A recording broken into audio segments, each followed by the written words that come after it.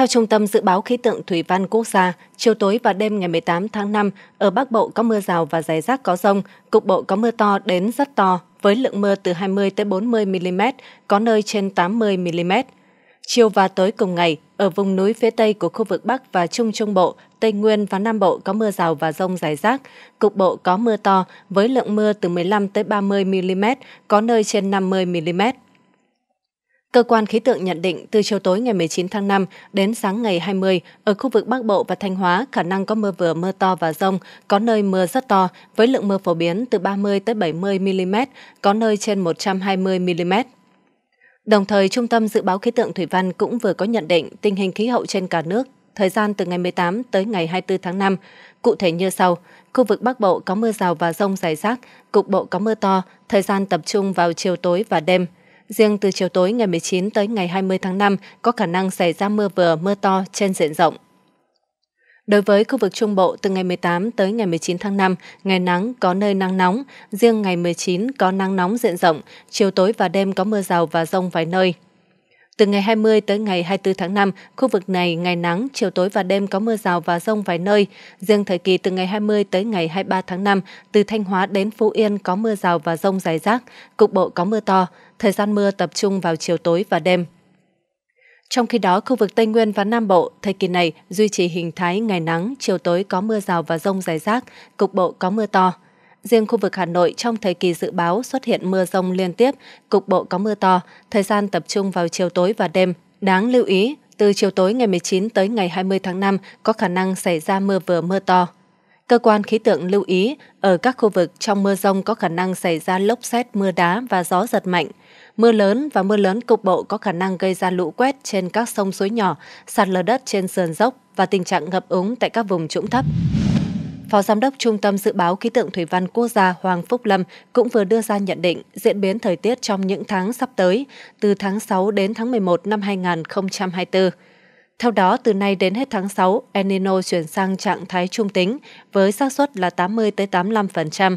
Từ tháng 7 tới tháng 8, Enso sẽ chuyển dần sang trạng thái La Nina với xác suất từ 65 tới 75%. Cũng từ nay đến tháng 8, dự báo trên Biển Đông xuất hiện 3 tới 5 cơn bão hoặc áp thấp nhiệt đới, trong đó khoảng một cơn đổ bộ vào đất liền. Trên phạm vi cả nước, khả năng tiếp tục xảy ra các hiện tượng thời tiết nguy hiểm như rông, lốc xét, mưa đá và gió giật mạnh. Đồng thời, tiến sĩ Lâm cho biết nắng nóng xu hướng gia tăng ở Bắc Bộ và Trung Bộ trong nửa cuối tháng 5 đến tháng 7 năm 2024. Nắng nóng và nắng nóng gai gắt có thể xuất hiện nhiều hơn trung bình nhiều năm. Từ tháng 6 tới tháng 8, nhiệt độ trung bình cả nước phổ biến cao hơn từ 0,5 tới 1,5 độ so với trung bình nhiều năm cùng thời kỳ, ông Lâm lưu ý. Theo ông Lâm, khô hạn và thiếu nước nguy cơ xảy ra ở Trung Bộ từ nửa cuối tháng 5 đến tháng 8 năm 2024, tập trung ở các tỉnh Quảng Trị, Quảng Nam, từ Phú Yên đến Ninh Thuận, đặc biệt tại những nơi ngoài vùng cấp nước của công trình thủy lợi. Cũng theo cơ quan khí tượng, mùa mưa tại Bắc Bộ xuất hiện vào tháng 5, Trung Bộ khoảng cuối tháng 8 và nửa đầu tháng 9. Mùa mưa tại khu vực Tây Nguyên và Nam Bộ có thể bắt đầu từ nửa cuối tháng 5, xuất hiện muộn hơn trung bình nhiều năm từ tháng 6 tới tháng 8 năm 2024. Gió mùa Tây Nam xu hướng hoạt động mạnh hơn trung bình. Ngoài ra, mùa lũ năm 2024 ít khả năng đến sớm trên các sông suối khu vực Bắc Bộ. Từ nửa cuối tháng 5 đến tháng 8, trên các sông từ Thanh Hóa đến Hà Tĩnh, Bình Thuận và khu vực Tây Nguyên xuất hiện 3 tới 5 đợt lũ và giao động. Các sông khác ở Trung Bộ mực nước biển đổi chậm.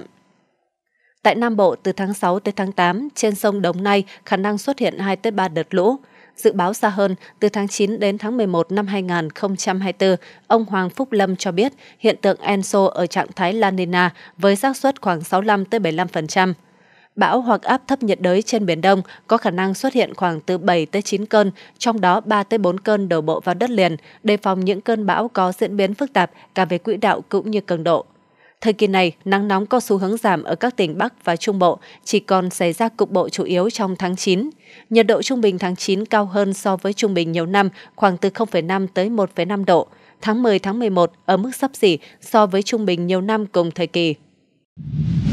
Ngày 16 tháng 5, ông Lê Đình Quyết, trưởng phòng Đài khí tượng thủy văn khu vực Nam Bộ cho biết, từ trưa đến chiều nay, thành phố Hồ Chí Minh và khu vực Nam Bộ, dạnh áp thấp có trục qua 24 tới 27 độ vĩ Bắc đẩy dần lên, áp cao lục địa tiếp tục di chuyển ra phía đông. Ở phía Nam, dạnh áp thấp xích đạo có trục ở khoảng 4 tới 6 độ vĩ Bắc, có xu hướng nâng trục chậm lên phía Bắc. Trên cao, áp cao cận nhiệt đới có trục qua Trung Bộ, lấn Tây, hoạt động mạnh, nhiễu động gió đông trên cao hoạt động tốt. Miền Đông ngày nắng nóng, miền Tây ngày nắng, chiều và tối có mưa rào và rông diện rộng, có nơi mưa vừa mưa to. Trong cơn rông, đề phòng gió giật mạnh, lốc xét mưa đá. Thành phố Hồ Chí Minh khả năng mưa rất to như ngày hôm qua, nhưng xác suất giảm hơn. Nhiệt độ cao nhất là 34 tới 36 độ C, miền Đông có nơi trên 36 độ C, miền Tây từ 32 tới 35 độ C. Trong 48 đến 72 giờ tới, Nam Bộ ngày nắng, cục bộ vẫn có nơi có nắng nóng. Chiều tối và đêm có mưa rào và rông diện rộng, có nơi mưa vừa mưa to. Trong cơn rông, cần đề phòng có lốc xét, mưa đá và gió giật mạnh. Trước đó khoảng 16 giờ chiều ngày 15 tháng 5, mưa lớn kèm gió giật đổ xuống khắp các quận huyện tại thành phố Hồ Chí Minh, gây ngập nhiều tuyến đường. Trong đó, thành phố Thủ Đức là nơi có lượng mưa lớn nhất 123 mm, tiếp theo là huyện Hóc Môn 72,4 mm và Củ Chi 41,8 mm. Các quận huyện còn lại có lượng mưa phổ biến từ 27 tới 33,8 mm. Ông Quyết chia sẻ, đây là trận mưa lớn nhất tại thành phố Hồ Chí Minh kể từ đầu năm đến nay. Hàng loạt tuyến đường khu dân cư bị ngập nặng trong trận mưa này. Theo ghi nhận, mưa lớn khiến nhiều tuyến đường ở thành phố Thủ Đức ngập lụt bánh xe máy như Tô Ngọc Vân, Kha Vạn Cân, Dương Văn Cam, Lã Xuân Oai. Nhiều phương tiện lưu thông qua các tuyến đường này chết máy phải đẩy bộ, thậm chí nước tràn vào nhà dân gây hư hỏng tài sản. Đặc biệt, dự án xây hệ thống thoát nước đường Võ Văn Ngân với tổng mức đầu tư 248 tỷ đồng vừa khánh thành vào ngày 27 tháng 4 được người dân kỳ vọng chống được ngập cũng thất thủ trong trận mưa 123 mm chiều qua. Dự án không chống được ngập còn khiến nắp cống bị bung lên, mặt đường bể, nứt một số đoạn, anh Nguyễn Văn Tứ, 31 tuổi, ngụ thành phố Thủ Đức nói, mới trận mưa đầu mùa, đường Tô Ngọc Vân và xung quanh chợ Thủ Đức ngập lụt bánh xe. Thử hỏi, dự án chống ngập này hiệu quả ở chỗ nào? Chiều 15 tháng 5, tại Hà Nội có mưa lớn khiến nhiều tuyến đường, phố ngập sâu, xe cộ chết máy giữa đường, giao thông hỗn loạn. Ghi nhận, tại tuyến ngõ 234 Hoàng Quốc Việt, cầu giấy Hà Nội đã xảy ra tình trạng ngập úng cục bộ. Cũng tại tuyến đường trên, Đoạn trước cổng trường Đại học Điện lực và Học viện Kỹ thuật Quân sự, mưa lớn đã khiến đoạn đường này ngập sâu khoảng 40 cm, kéo dài khoảng 300 m. Ngập sâu khiến nhiều xe chết máy khi đi qua tuyến đường trên, một số người đi xe máy bị ngã. Trên cầu Vĩnh Tuy, do mưa lớn nước không kịp rút nên đã xảy ra tình trạng ngập úng ngay trên cầu. Điều đáng nói, đây không phải là lần đầu tiên cây cầu này bị ngập úng. Trước đó vào tháng 4 năm 2024, trong một trận mưa lớn, cây cầu này cũng bị ngập. Theo Trung tâm Khí tượng Thủy văn Quốc gia, hiện khu vực Hà Nội đang có mưa vừa, to đến rất to. Dự báo trong 3 giờ tới, khu vực nội thành Hà Nội và các vùng lân cận vẫn tiếp tục có mưa vừa đến mưa to với lượng mưa phổ biến trong khoảng 10 đến 30 mm, có nơi trên 60 mm. Đợt mưa này có khả năng gây ngập úng cho nhiều tuyến phố nội thành với độ sâu phổ biến từ 15 đến 25 cm, một số tuyến có thể ngập sâu 20 đến 40 cm. Một số tuyến đường có khả năng ngập như Thụy Khuê, Chu Văn An, Dốc La Phò, Trích Sài, Âu Cơ, Dương Đình Nghệ, Phạm Hùng, Tôn Thất Thuyết, Nam Trung Yên, Hoa Bằng, Hoàng Quốc Việt. 16 giờ chiều ngày 15 tháng 5, nhiều khu vực ở thành phố Hồ Chí Minh xuất hiện mưa lớn kèm theo hiện tượng rông sét. Cơn mưa kéo dài gần 1 giờ và chưa có dấu hiệu tạnh khiến nhiều tuyến đường ngập sâu. Nặng nhất là tại thành phố Thủ Đức, mưa lớn làm hàng loạt tuyến đường chìm trong biển nước, phương tiện chết máy hàng loạt. Trong đó, khu vực quanh chợ Thủ Đức gồm các tuyến đường Tô Ngọc Vân, Đặng Thị Dành, Hồ Văn Tư, Dương Văn Cam, Nước ngập sâu nửa mét khiến xe chết máy la liệt. Ngoài ra, nhiều tuyến đường tại thành phố Thủ Đức như Đỗ Xuân Hợp, Lã Xuân Oai cũng ngập khiến giao thông bị rối loạn. Trước đó, Đài khí tượng thủy văn khu vực Nam Bộ cho biết, theo dõi trên ảnh mây vệ tinh, ảnh radar thời tiết và định vị xét cho thấy vùng mây rông đang phát triển và gây mưa kèm rông, xét trên khu vực Củ Chi, Thủ Đức, Hóc Môn, các quận trung tâm, Bình Thạnh. Theo đó, mây rông phát triển mạnh đã gây mưa rào, kèm theo rông, xét cho các quận huyện trên, sau mở rộng ra khu vực lân cận khác gồm quận 12, Gò Vấp, các quận trung tâm, Tân Bình, Tân Phú, Bình Tân, quận 7, với lượng mưa 10 đến 20 mm, có nơi trên 25 mm. Trong cơn rông đề phòng lốc, mưa đá và gió giật mạnh khoảng cấp 5 đến 7, 8 đến 17 m trên giây. Sáng ngày 15 tháng 5, Trung tâm Dự báo Khí tượng Thủy văn Quốc gia cập nhật về đợt mưa lớn xảy ra vào chiều tối tại miền Bắc và một số nơi ở Bắc Trung Bộ, Tây Nguyên, Nam Bộ. Theo đó, vào đêm ngày 14 tháng 5 và sáng sớm ngày 15 tháng 5, ở khu vực vùng núi Bắc Bộ có mưa rào và rông rải rác, cục bộ có mưa to. Lượng mưa tính từ 19 giờ tối qua đến 8 giờ sáng, có nơi trên 50 mm như Tân Trịnh Hà Giang 97,2 mm, Phố Lu Lào Cai 78,4 mm, Mường Lèo Sơn La 58,2 mm, Quảng Lâm Quảng Ninh 106,4 mm. Đáng lưu ý, từ chiều tối nay đến ngày 16 tháng 5, toàn khu vực có mưa vừa, mưa to và rông, có nơi mưa to rất to với lượng mưa phổ biến từ 40 tới 80 mm, có nơi trên 120 mm. Khu vực Bắc Trung Bộ có mưa rào và rông, cục bộ có mưa to với lượng mưa 20 tới 40 mm, có nơi trên 70 mm.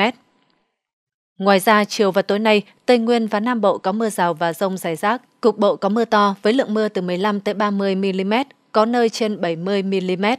Liên quan đến đợt mưa lớn ở miền Bắc, tiến sĩ Nguyễn Ngọc Huy là chuyên gia về biến đổi khí hậu và cảnh báo thiên tai cũng vừa có nhận định. Cụ thể các địa phương có mưa rông lớn trong ngày hôm nay bao gồm buổi sáng ở Điện Biên, Sơn La, Lai Châu, Lào Cai, buổi chiều và tối ở Cao Bằng, Tuyên Quang, Phú Thọ, Vĩnh Phúc, Hòa Bình, phía Tây Hà Nội, Bắc Ninh, phía Tây của Huế, Đà Nẵng, khu vực Nam Tây Nguyên và miền Đông Nam Bộ. Tiến sĩ Huy lưu ý, trận mưa rông chiều và tối nay có thể gây ngập lụt cục bộ ở các khu vực thấp trũng của các đô thị. Tiến sĩ Huy khuyến cáo người dân lưu ý là nếu mưa rông lớn vào cuối giờ chiều thì đợi giảm hãy ra đường về nhà, kèo kẹt xe hoặc ngập lụt.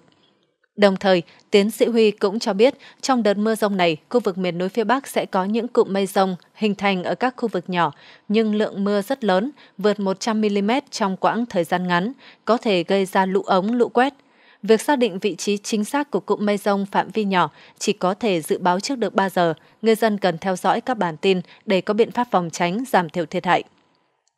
Ngày 16 tháng 5, mưa rông sẽ lan tới các tỉnh Bắc Trung Bộ. Trung tâm Dự báo Khí tượng Thủy văn Quốc gia cũng dự báo từ ngày 17 tháng 5, mưa rông ở Tây Nguyên và Nam Bộ còn có khả năng duy trì, thời gian mưa rông tập trung vào chiều và tối. Theo Đài Khí tượng Thủy văn khu vực Nam Bộ, hôm nay áp cao lạnh lục địa trên khu vực Trung Quốc tiếp tục tăng cường xuống phía Bắc nước ta. Trên cao áp cao cận nhiệt đới có trục qua Trung Bộ. Những nhiễu động trên cao tiếp tục duy trì trên khu vực Nam Bộ.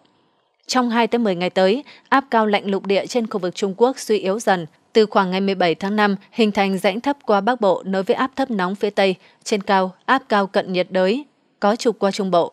Những nhiễu động trên gây mưa cho khu vực Tây Nguyên và Nam Bộ, đặc biệt từ khoảng ngày 18 tới ngày 19 tháng 5, gió mùa Tây Nam hoạt động khiến khu vực mưa kéo dài.